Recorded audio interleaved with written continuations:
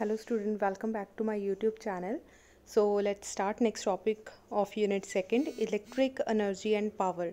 So, ਇਸ video ਦੇ ਵਿੱਚ ਬੱਚੇ ਅਸੀਂ ਇਲੈਕਟ੍ਰਿਕ એનર્ਜੀ ਐਂਡ ਪਾਵਰ ਬਾਰੇ ਪੜਾਂਗੇ ਸੋ ਇਹ ਟੌਪਿਕ ਜੋ ਬੱਚੇ ਆਪਾਂ ਪੜਨ ਜਾ ਰਹੇ ਹਾਂ, ਇਹ ਟੌਪਿਕ ਐਕਚੁਅਲੀ ਐਗਜ਼ਾਮ ਦੇ ਵਿੱਚ ਬਹੁਤ ਘੱਟ ਆਂਦਾ ਆ। ਈਵਨ ਆਂਦਾ ਹੀ ਨਹੀਂ। ਤਾਂ ਮੋਸਟ ਪ੍ਰੋਬਬਲੀ ਇਹਦੇ ਨੂਮੈਰੀਕਲਸ ਪੁੱਛੇ ਜਾਂਦੇ ਆ, ਟੂ ਜੋ 2 ਮਾਰਕਸ ਦੇ ਵਿੱਚ ਪੁੱਛੇ ਜਾ ਸਕਦੇ ਆ। ਸੋ ਆਪਾਂ ਹਲਕਾ ਫੁਲਕਾ ਆਰਟੀਕਲ ਦੇਖ ਲੈਂਦੇ ਹਾਂ, ਪੜ੍ਹ ਲੈਂਦੇ ਹਾਂ, ਜੋ ਤੁਹਾਡੀ ਬੁੱਕ ਦੇ ਵਿੱਚ ਗਿਵਨ ਆ ਇਲੈਕਟ੍ਰਿਕ ਐਨਰਜੀ ਹੁੰਦਾ ਕੀ ਆ ਅਦਰਵਾਈਜ਼ ਤੁਸੀਂ ਬੱਚੇ 10th ਵਿੱਚ ਵੀ ਇਹ ਚੀਜ਼ ਪੜ੍ਹ ਕੇ ਆਏ ਹੋਏ ਆ ਦ work done by a source to maintain a current in electric circuit is known as electric energy. ਧਿਆਨ ਨਾਲ ਦੇਖੋ, work done by a source, ਕਿਸੇ ਸੋਰਸ ਦੇ ਦੁਆਰਾ ਜਿਹੜਾ ਕੰਮ ਕੀਤਾ ਗਿਆ, ਮੰਨ ਲਓ ਕੋਈ ਸੈੱਲ ਆ, ਕੋਈ ਬੈਟਰੀ ਆ, ਉਹਦੇ ਦੁਆਰਾ ਜੋ ਕੰਮ ਕੀਤਾ ਗਿਆ maintain a current in electric circuit electric circuit ਦੇ ਅੰਦਰ ਜੋ ਕਰੰਟ ਨੂੰ ਮੇਨਟੇਨ ਕੀਤਾ ਜਾਂਦਾ ਹੈ, ਉਹਨੂੰ ਅਸੀਂ ਬੋਲਦੇ ਹਾਂ ਇਲੈਕਟ੍ਰਿਕ એનર્ਜੀ ਠੀਕ ਹੈ, ਉਹਨੂੰ ਇਲੈਕਟ੍ਰਿਕ એનર્ਜੀ ਬੋਲਿਆ ਜਾਂਦਾ। ਸੋ ਇਲੈਕਟ੍ਰਿਕ એનર્ਜੀ ਨੂੰ ਡਿਨੋਟ ਕੀਤਾ ਜਾਂਦਾ E ਦੇ ਨਾਲ। E ਜਾਂ ਫਿਰ H ਦੇ ਨਾਲ। ਸੋ ਦੋਨਾਂ ਚੋਂ ਕਿਸੇ ਇੱਕ ਵਰਡ ਦੇ ਨਾਲ ਡਿਨੋਟ ਕੀਤਾ ਜਾਂਦਾ। ਸੋ ਆਪਾਂ ਇਹਦਾ ਫਾਰਮੂਲਾ ਵਿੱਚ ਡਰਾਈਵ ਕਰਨਾ ਹੈ। ਫਾਰਮੂਲਾ ਡਰਾਈਵ ਕਰਨ ਤੋਂ ਪਹਿਲਾਂ ਅਸੀਂ ਸਭ ਤੋਂ ਪਹਿਲਾਂ ਚਾਰਜ ਲਿਖਾਂਗੇ। ਚਾਰਜ ਕਿਤੇ ਇਕੁਅਲ ਹੁੰਦਾ? ਆਈਟੀ ਦੇ ਇਕੁਅਲ ਸੋ ਵਰਕ ਡਨ ਸਾਨੂੰ ਪਤਾ ਹੈ ਵਰਕ ਡਨ ਕਿਤੇ ਇਕੁਅਲ ਹੁੰਦਾ ਆ? ਡੈਲਟਾ ਯੂ ਡੈਲਟਾ ਯੂ ਕੀ ਹੈ, ਜਿੰਨਾ ਤੁਹਾਡਾ ਪੋਟੈਂਸ਼ੀਅਲ ਡਿਫਰੈਂਸ ਹੋਇਆ, ਦੋ ਪੁਆਇੰਟਸ ਦੇ ਵਿਚਕਾਰ, A ਔਰ B ਪੁਆਇੰਟਸ ਦੇ ਵਿਚਕਾਰ। ਸੋ ਅਸੀਂ ਲਿਖ ਦਿੱਤਾ A ਐਂਡ B ਪੁਆਇੰਟ ਦੇ ਵਿਚਕਾਰ ਡੈਲਟਾ U ਡੈਲਟਾ U ਕਿਹਦੇ ਇਕੁਅਲ ਹੁੰਦਾ ਆ? V, Q ਦੇ। V ਦੀ ਜਗ੍ਹਾ ਤੇ V ਲਿਖਿਆ ਰਹਿਣ ਤਾਂ Q ਦੀ ਜਗ੍ਹਾ ਤੇ ਲਿਖ ਦਿੱਤਾ IT ਇਹਦਾ ਮਤਲਬ ਵਰਕ ਡਨ ਉਨਾ ਹੀ ਹੋਏਗਾ ਜਿੰਨੀ ਅਸੀਂ એનર્ਜੀ ਦਵਾਂਗੇ, ਜਿੰਨਾ એનર્ਜੀ ਕੰਜ਼ਿਊਮ ਹੋਈ ਹੋਊਗੀ। ਇਹਦਾ ਮਤਲਬ ਅਸੀਂ W ਦੀ ਜਗ੍ਹਾ ਤੇ ਕੀ ਲਿਖ ਸਕਦੇ ਹਾਂ? E. ਸੋ E ਦਾ ਫਾਰਮੂਲਾ ਆ ਗਿਆ VIT according to Ohm's law VI ਕਿਹਦੇ ਇਕੁਅਲ ਹੁੰਦਾ ਆ? V ਕਿਹਦੇ ਇਕੁਅਲ ਹੁੰਦਾ? IR ਠੀਕ ਹੈ ਬੱਚੇ? ਇਹ ਓਮਸ ਲਾਅ ਕਹਿੰਦਾ ਸਾਨੂੰ। ਇਹਦਾ ਮਤਲਬ ਅਸੀਂ ਕੱਲੀ V ਦੀ ਜਗ੍ਹਾ ਤੇ ਜੋ ਉੱਪਰ ਅਸੀਂ ਡੈਰੀਵੇਸ਼ਨ ਹੁਣ ਸੋਲਵ ਕੀਤੀ ਆ, ਇੱਥੇ V ਦੀ ਜਗ੍ਹਾ ਤੇ ਅਸੀਂ ਕੀ ਪੁੱਟ ਕਰਨ ਲੱਗੇ ਆ? IR ਸੋ IR ਪੁੱਟ ਕਰ ਦਿੱਤਾ। ਸੋ ਸਾਡੇ ਕੋਲ ਫਾਰਮੂਲਾ ਬਣ ਗਿਆ I ਸਕੁਅਰ RT ਅਗਰ I ਦੀ ਵੈਲਿਊ ਤੁਸੀਂ ਪੁੱਟ ਕਰੋਗੇ, V IR ਹੁੰਦਾ।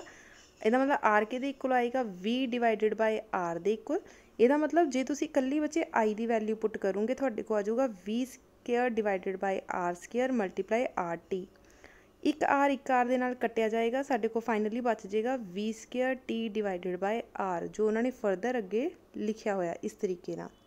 ਕਲੀਅਰ ਹੋ ਗਿਆ? ਸੋ ਤੁਹਾਨੂੰ ਬੱਚੇ ਆ ਤਿੰਨ ਦੇ ਤਿੰਨ ਫਾਰਮੂਲੇਜ਼ ਯਾਦ ਹੋਣੇ ਚਾਹੀਦੇ ਆ। ਐਨਰਜੀ ਤੇ ਫਾਰਮੂਲਾ ਕੀ ਹੋ ਸਕਦਾ? I square R T first formula i square rt second formula v square divided by T ਠੀਕ ਹੈ ਸੋ ਇਹ ਫਾਰਮੂਲੇ ਤੁਸੀਂ ਆਪਣੇ ਮਾਈਂਡ ਦੇ ਵਿੱਚ ਰੱਖਣਾ ਹੈ ਦੈਨ ਉਹਦੇ ਯੂਨਿਟਸ ਤੁਹਾਨੂੰ ਪਤਾ ਹੋਣੀ ਚਾਹੀਦੀ ਹੈ ਕਿ 1 ਜਾਊਲ ਜਿਹੜਾ ਹੈ ਕਿਹਦੇ ਇਕੁਅਲ ਹੁੰਦਾ ਆ 1 ਵੋਲਟ ਐਂਪੀਅਰ ਸੈਕਿੰਡ ਦੇ ਇਕੁਅਲ ਸੋ ਨੈਕਸਟ ਪੇਜ ਤੇ ਦੇਖੋ ਇਲੈਕਟ੍ਰਿਕ ਪਾਵਰ ਸੋ ਬੱਚੇ ਇਲੈਕਟ੍ਰਿਕ ਪਾਵਰ ਕੀ ਆ that is rate of doing electric work ਜਿੰਨਾ ਵੀ ਕੰਮ ਹੋਇਆ ਉਹਨੂੰ ਅਸੀਂ ਬੋਲ ਦਿੰਦੇ ਆ ਇਲੈਕਟ੍ਰਿਕ ਪਾਵਰ ਸੋ ਪਾਵਰ ਨੂੰ ਕਿਸ ਤਰੀਕੇ ਨਾਲ ਲਿਖਿਆ ਜਾਂਦਾ ਆ energy produce divided by time ਠੀਕ ਹੈ ਅਸੀਂ ਹੁਣੇ-ਹੁਣੇ ਪੜ੍ਹ ਕੇ ਹਟੇ ਆ ਈ ਦੀ ਵੈਲਿਊ ਕਿੰਨੀ ਹੁੰਦੀ ਆ ਵੀ ਆਈ ਟੀ ਸੋ ਇਹਦਾ ਮਤਲਬ ਅਸੀਂ ਈ ਦੀ ਵੈਲਿਊ ਡਾਇਰੈਕਟ ਪੁੱਟ ਕਰ ਸਕਦੇ ਹਾਂ ਟੀ ਇੱਥੇ ਟੀ ਦੇ ਨਾਲ ਟੀ ਕੈਂਸਲ ਸਾਡੇ ਕੋਲ ਪੀ ਦੀ ਵੈਲਿਊ ਕਿੰਨੀ ਆ ਗਈ ਵੀ ਆਈ ਸੋ ਇਹ ਫਾਰਮੂਲਾ ਤੁਹਾਨੂੰ ਲਰਨ ਕਰਨਾ ਪਏਗਾ ਯਾਦ ਰੱਖਣਾ ਪਏਗਾ ਇਹਦੇ ਨੂਮੈਰੀਕਲਸ ਆਉਂਦੇ ਆ ਬੱਚੇ ਠੀਕ ਹੈ ਹੁਣ ਵੀ ਦੀ ਵੈਲਿਊ ਪਤਾ ਆ ਵੀ ਕਿਹਦੇ ਇਕੁਅਲ ਹੁੰਦਾ ਬੱਚੇ ਆਈ ਆਰ ਦੀ ਇਹਦਾ ਮਤਲਬ ਅਸੀਂ ਇੱਥੇ ਪੁੱਟ ਕਰ ਦਿੱਤਾ ਆਈ ਆਰ ਇੱਕ ਆਈ ਬਾਹਰ ਪਿਆ ਸੀ। ਸੋ ਸਾਡੇ ਕੋਲ ਆ ਗਿਆ ਆਈ ਸਕੁਅਰ ਆਰ। ਬਣ ਗਿਆ ਸਾਡਾ ਆਈ ਸਕੁਅਰ ਆਰ। ਠੀਕ ਹੈ?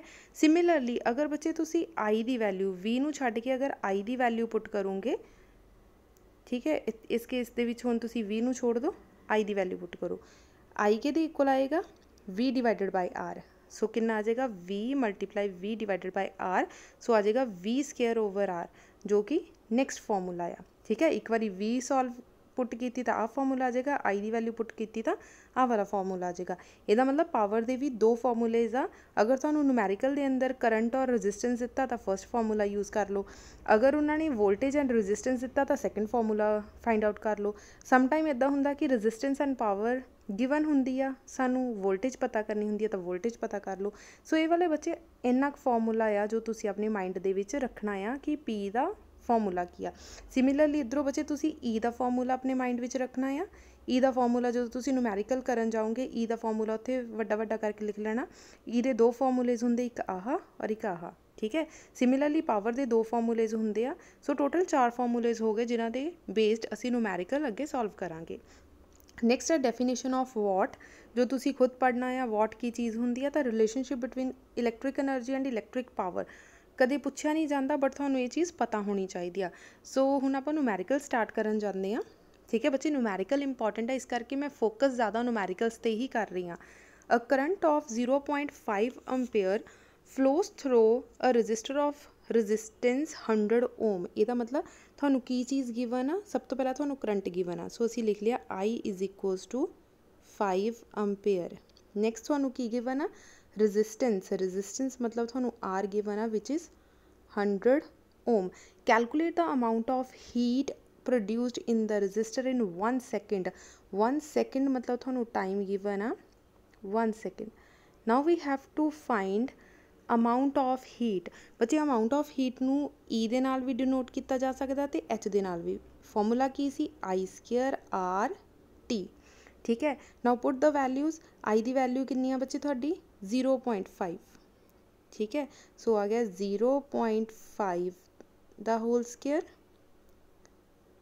ਪੁਆਇੰਟ ਲਗਾ ਦੇਣਾ ਇੱਥੇ ਮਲਟੀਪਲਾਈ r ਦੀ ਵੈਲਿਊ ਕਿੰਨੀ ਆ 100 ਔਰ t ਦੀ ਵੈਲਿਊ ਕਿੰਨੀ ਆ 1 ਸੈਕਿੰਡ ਬੱਚੇ ਹੁਣ ਜਦੋਂ ਤੁਸੀਂ ਇਹਨੂੰ ਸਕੁਅਰ ਕਰੋਗੇ 0.5 ਆ ਤਾਂ ਡੈਸੀਮਲ ਹਟਾ ਦਿਓ ਤਾਂ ਆ ਜਾਏਗਾ 5 ਡਿਵਾਈਡਡ ਬਾਈ 100 ਬਿਕੋਜ਼ ਉੱਪਰ ਸਕੁਅਰ ਆ ਇਟ ਮੀਨਸ ਅਸੀਂ 2 ਟਾਈਮਸ ਲਿਖ ਸਕਦੇ ਹਾਂ ਠੀਕ ਹੈ?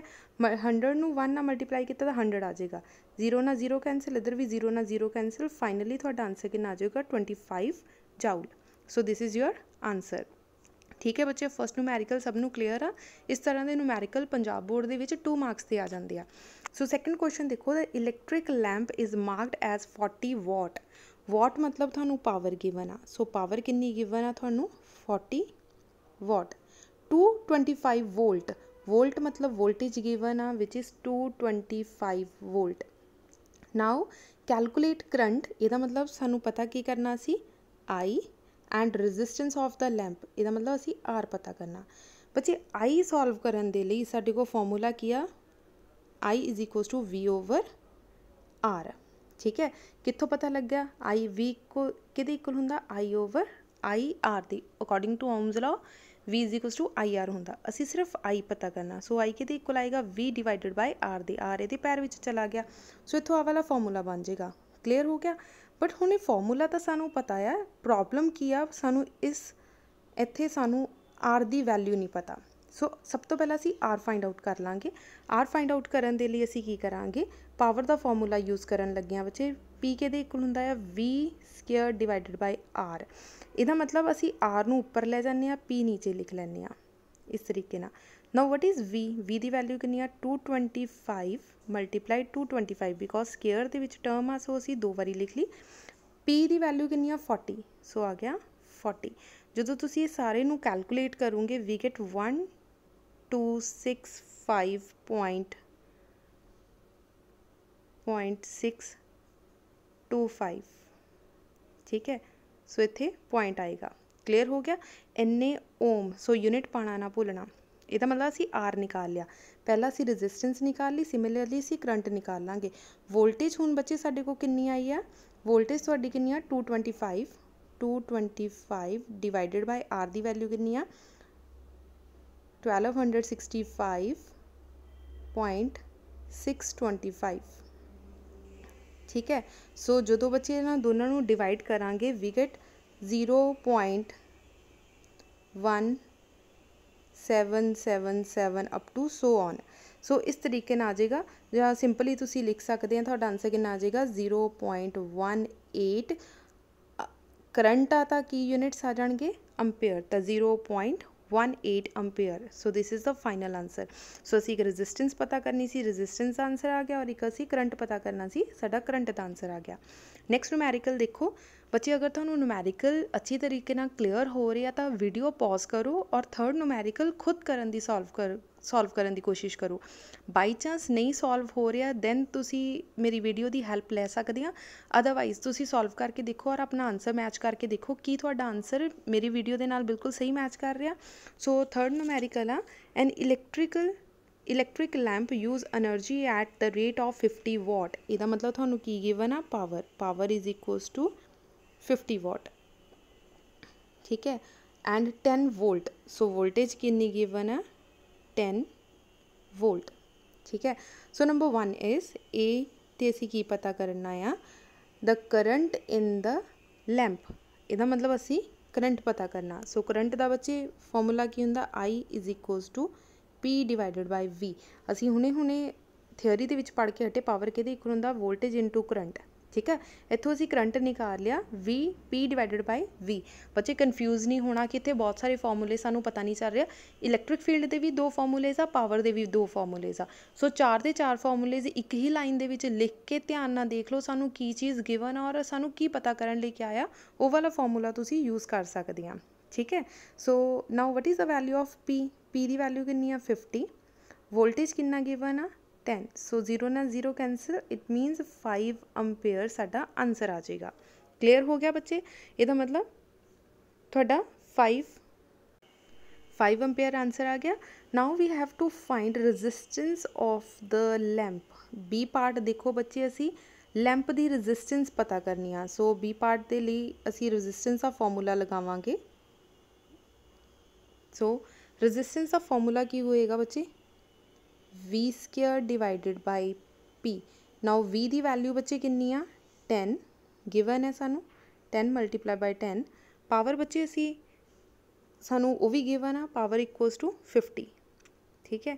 ਸੋ 0 ਨਾਲ 0 ਕੈਂਸਲ 5 1 ਆ 5 5 2 ਆ 10 so this is 2 ohm resistance ਦੇ ਯੂਨਿਟਸ ਕਿੰਨੇ ਹੁੰਦੇ ਆ? 2 ਓਮ ਸੋ ਸਾਡੇ ਸੈਕੰਡ ਪਾਰਟ ਵੀ ਸੋਲਵ ਹੋ ਗਿਆ। ਫਰਸਟ ਵਿੱਚ ਅਸੀਂ ਆਈ ਪਤਾ ਕਰਨਾ ਸੀ ਸੈਕੰਡ ਵਿੱਚ ਅਸੀਂ ਰੈਜ਼ਿਸਟੈਂਸ ਪਤਾ ਕਰਨੀ ਸੀ। ਕਲੀਅਰ ਹੋ ਗਿਆ? ਸੋ ਨੈਕਸਟ ਨੂਮੈਰੀਕਲ ਦੇਖਦੇ ਹਾਂ। A current 5.0 ampere flows through an electric press of resistance 11 ohm ਸਭ ਤੋਂ ਪਹਿਲਾਂ ਸਾਨੂੰ ਗਿਵਨ ਕੀ ਆ? ਕਰੰਟ ਵਿਚ ਇਜ਼ 5 ਐਂਪੀਅਰ 5.0 ਆ ਤਾਂ ਅਸੀਂ ਇਕੱਲਾ 5 ਲਿਖ ਸਕਦੇ ਹਾਂ। ਨੈਕਸਟ ਸਾਨੂੰ ਰੈਜ਼ਿਸਟੈਂਸ ਗਿਵਨ ਆ। R is equals to 11 ohm. Calculate the energy consumed in 5 minutes. ਮਤਲਬ ਟਾਈਮ ਗਿਵਨ ਆ ਸਾਨੂੰ 5 ਮਿੰਟ ਸਭ ਤੋਂ ਪਹਿਲਾਂ ਬੱਚੇ ਕੀ ਕਰਾਂਗੇ? 5 ਮਿੰਟ ਨੂੰ ਸੈਕਿੰਡਸ ਦੇ ਵਿੱਚ ਕਨਵਰਟ ਕਰਨਾ ਤਾਂ 60 ਸੈਕਿੰਡ ਨਾਲ ਮਲਟੀਪਲਾਈ ਕਰ ਦਿੱਤਾ।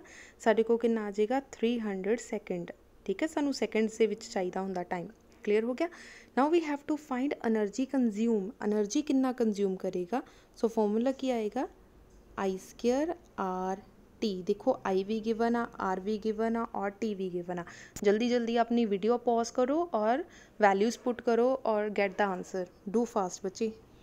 ट्राई योर सेल्फ ਬੱਚੇ ਨੂਮੈਰੀਕਲ ਜਿੰਨਾ ਖੁਦ ਕਰਨ ਦੀ ਕੋਸ਼ਿਸ਼ ਕਰੋਗੇ, ਉਨੇ ਹੀ ਈਜ਼ੀ ਲੱਗਣਗੇ। ਜਿੰਨਾ ਤੁਸੀਂ ਜਸਟ ਦੇਖ ਕੇ ਸੋਲਵ ਕਰੋਗੇ, ਤਾਂ ਤੁਹਾਨੂੰ ਹੁਣ ਈਜ਼ੀ ਲੱਗਣਗੇ। ਜਦੋਂ ਖੁਦ ਸੋਲਵ ਕਰਨ ਦੀ ਵਾਰੀ ਆਏਗੀ ਜਦ ਟੈਸਟ ਹੋਏਗਾ, ਤਾਂ ਤੁਹਾਨੂੰ ਨੂਮੈਰੀਕਲਸ ਬਹੁਤ ਡਿਫਿਕਲਟ ਲੱਗਣਗੇ ਔਰ ਤੁਸੀਂ ਕਹਿਣਾ, ਸਾਨੂੰ ਫਾਰਮੂਲੇਜ਼ ਨਹੀਂ ਪਤਾ ਲੱਗ ਰਹੇ ਵੀ ਕਿਹੜੇ ਪੁੱਟ ਕਰਨੇ ਆ। ਸੋ ਟਰਾਈ ਕਰੋ ਨੂਮੈਰੀਕਲ ਪੜੋ ਔਰ ਖੁਦ ਟਰਾਈ ਕਰਨ ਦੀ ਕੋਸ਼ਿਸ਼ ਕਰੋ। ਸੋ 5 5 ਆ 25 25 ਨੂੰ 11 ਨਾਲ ਮਲਟੀਪਲਾਈ ਦੈਨ 300 ਨਾਲ ਮਲਟੀਪਲਾਈ ਵੀ ਗੈਟ 82500 ਜਾਊਲ ਸੋ ਇਸ ਤਰੀਕੇ ਨਾਲ ਤੁਹਾਡੇ ਜਾਊਲਸ ਦੇ ਵਿੱਚ ਆਨਸਰ ਆ ਗਿਆ। ਕਲੀਅਰ ਹੋ ਗਿਆ? So this is a final answer done so next numerical ਦੇਖੋ। 60 watt 220 volt bulb and 100 watt 220 volt bulb are connected in parallel to maintain supply ਹੁਣ ਦੇਖੋ ਬੱਚੇ, ਸਾਡੇ ਕੋਲ ਦੋ ਬੱਲਬ ਆ, ਦੋਨਾਂ ਨੂੰ ਪੈਰਲਲ ਜੋੜ ਦਿੱਤਾ। ਠੀਕ ਹੈ? ਪੈਰਲਲ ਦਾ ਕੀ ਮਤਲਬ ਹੈ ਇੱਕ ਬੱਲਬ ਅਸੀਂ ਇੱਥੇ ਜੋੜ ਦਿੱਤਾ ਔਰ ਦੂਸਰਾ ਬੱਲਬ ਅਸੀਂ ਇਸ ਤਰੀਕੇ ਨਾਲ ਜੋੜਤਾ। ਠੀਕ ਹੈ, ਦੋਨਾਂ ਨੂੰ ਪੈਰਲਲ ਜੋੜਤਾ। ਸੋ ਜਦੋਂ ਪੈਰਲਲ ਜੋੜਿਆ, ਇਸ ਬੱਲਬ ਦੀ ਵੋਲਟੇਜ ਕਿੰਨੀ ਆ? 220 ਵੋਲਟ ਨੀਚੇ ਵਾਲੇ ਬੱਲਬ ਦੀ ਵੀ 220 ਵੋਲਟ ਬਟ ਵਾਟ ਬੱਲਬ ਜਿਹੜੇ ਆ, ਉਹ ਅਲੱਗ-ਅਲੱਗ ਵਾਟ ਦੇ ਯੂਜ਼ ਕੀਤੇ ਹੋਏ ਆ। ਉੱਪਰ ਵਾਲਾ 60 ਆ, ਨੀਚੇ ਵਾਲਾ 100 ਹੈ ਉਹਨਾਂ ਨੇ ਕਿਹਾ which bulb will draw more current ਦੋਨਾਂ ਦੇ ਵਿੱਚੋਂ ਕਿਹੜਾ ਜ਼ਿਆਦਾ ਕਰੰਟ ਕੰਜ਼ਿਊਮ ਕਰੇਗਾ? ਅਸੀਂ ਕਰੰਟ ਦੀ ਵੈਲਿਊ ਫਾਈਂਡ ਆਊਟ ਕਰਨੀ ਆ। ਸੋ ਬੱਚੇ, ਸਾਡੇ ਕੋਲ ਗਿਵਨ ਕੀ ਆ? ਪਾਵਰ P1 ਪਹਿਲਾਂ ਆਪਾਂ ਫਰਸਟ ਪਾਰਟ ਸੋਲਵ ਕਰਦੇ ਆ P1 ਐਂਡ V1 ਸੋ ਪਹਿਲਾਂ ਆਪਾਂ P1 ਦੀ ਵੈਲਿਊ ਲਿਖ ਲੈਂਦੇ ਆ P1 ਸਾਨੂੰ ਪਾਵਰ ਕਿੰਨੀ ਗਿਵਨ ਆ? 60 ਵਾਟ ਐਂਡ ਵੋਲਟੇਜ ਕਿੰਨੀ ਗਿਵਨ ਆ?